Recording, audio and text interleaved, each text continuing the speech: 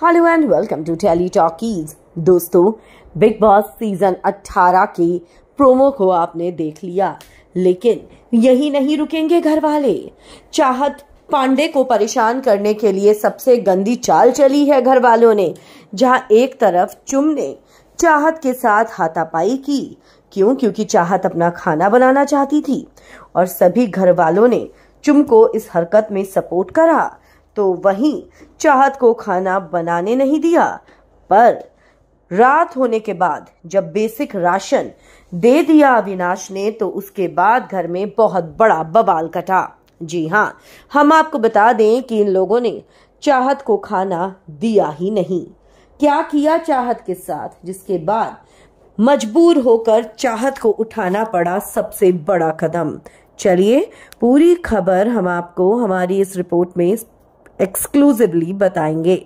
लेकिन अगर नहीं किया है अभी तक आपने चैनल को सब्सक्राइब, आप ज़रूर कर लें और बेल आइकन को भी आप ज़रूर दबा दें।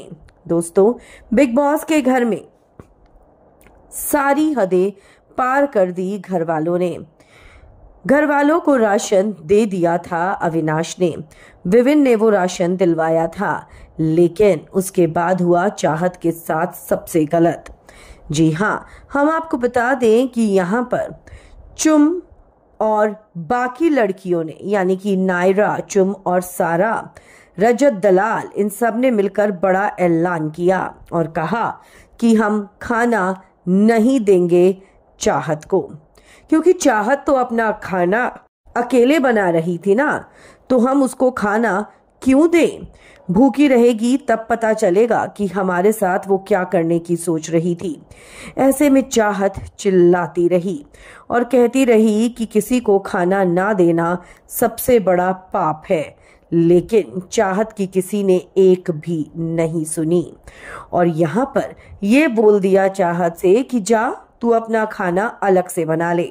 चाह जब अपना खाना अलग से बनाने गई तो हमेशा की तरह फिर से गैस का बर्नर वहाँ से हटा दिया। घर वाले चाहत के साथ बहुत ही दुर्व्यवहार कर रहे हैं। और अब वीकेंड के वार में कल सलमान इन सभी लोगों की क्लास ज़रूर लगाएँगे, जिससे चाहत को इंसाफ मिल सके। क्योंकि चाहत ने एप्पल खाकर पेट भरा है। अविनाश ने जब देखा कि चाहत को खाना नहीं मिल रहा है घर वालों ने भूखा मार दिया है तो ऐसे में अविनाश ने उसको एप्पल और दही दे दिया जिससे चाहत ने अपना पेट भरा।